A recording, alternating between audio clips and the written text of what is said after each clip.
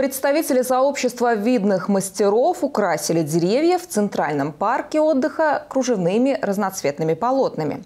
Мероприятие приурочили ко Всемирному дню вязания на публике. Все желающие могли принять участие в мастер-классах по вязанию крючком. Профессионалы учили детей и взрослых своими руками создавать интересные изделия из акриловой пряжи. Получившиеся полотна также развесили на деревья – Цветной арт-объект придал парку яркости. Для многих горожан он стал новым местом для летних фотосессий.